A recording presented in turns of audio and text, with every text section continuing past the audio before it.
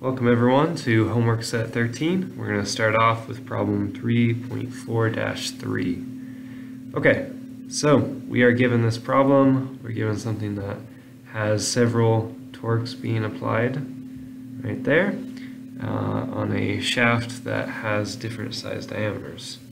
Okay, so the problem asks to find the max shear uh, in the structure, right? So we're going to go about first analyzing the different shears in each segment to see where it might fail um, and what part is going to receive the most force, right? Okay, so first off, we're going to be using this equation. It's pretty important. Um, so it's just your normal shear equation given a torque, radius, and polar moment of inertia. Okay, and for the polar moment of inertias, you can find the formula in the back of the book. Um, uh, they've been given right here, right? So that's just a little heads up where those come from. Um, and we're just going to get started. So we're going to start by looking at AB, right? So we see that that's attached to the wall right there, right? So that is going to be receiving all of the torques, right? So the way this works is we're going to set it up this equation. So we're adding up all the torques and then we have that diameter of AB that section right there. We have the polar moment of inertia of AB, which is that equation. Whoa, that equation right there, all right?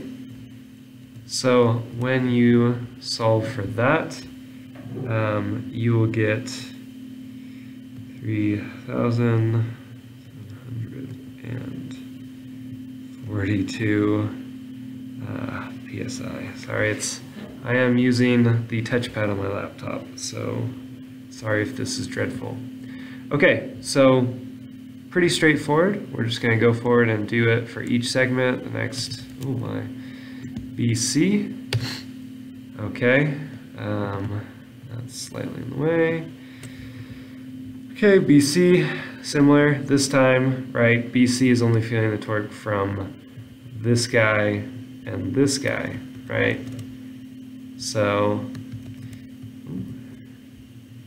go forward. And if we solve this out, we are going to get 4,653 psi.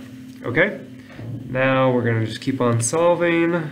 Okay, we have a couple different methods. There's a couple different formulas.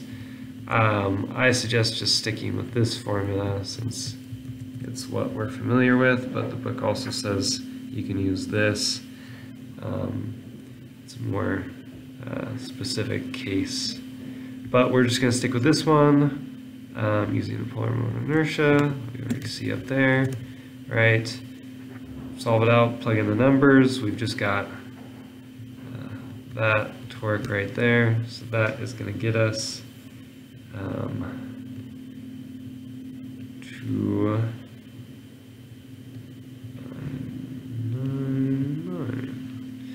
And there we go. Okay, very straightforward. And that is all for that. Um, okay, so now what we want to do is we're going to look, okay, at what point is it receiving the most force? So when is it going to break? Right, 4,653 is going to be the biggest force, and that's where it's going to have problems. Um,